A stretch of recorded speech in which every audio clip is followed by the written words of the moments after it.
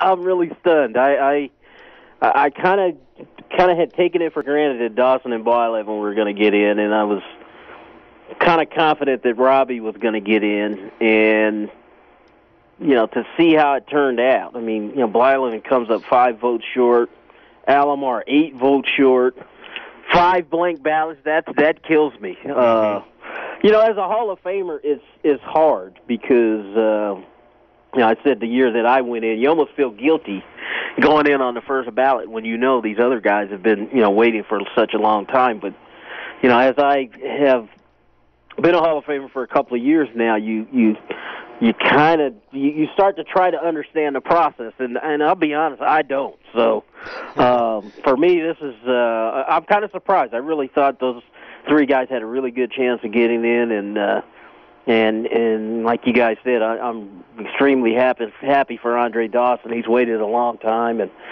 um, and happy that he got in. But uh, I still think there's some deserving guys on the ballot. Tony, when you sit there, before we get to Robbie specifically, you made a comment I want to ask you about. You talked about the five blank ballots, and we've talked about that too, how ridiculous that is. As a former player, knowing how much respect you had for your peers and vice versa, does it almost every year, year after year, become more of a conversation among the players behind the scenes that it should be the peers and not the writers covering the game who should be doing the voting? Man, that's a good question because I, when I was playing, I I kind of felt that way. I kind of felt like um, you know, I think as players, you kind of understand what everybody has to go through, and and maybe we're the best people to vote on it. And uh, but I, I think the right, I think you have to be objective, and it's hard. You know, there's no question. This is not an easy process.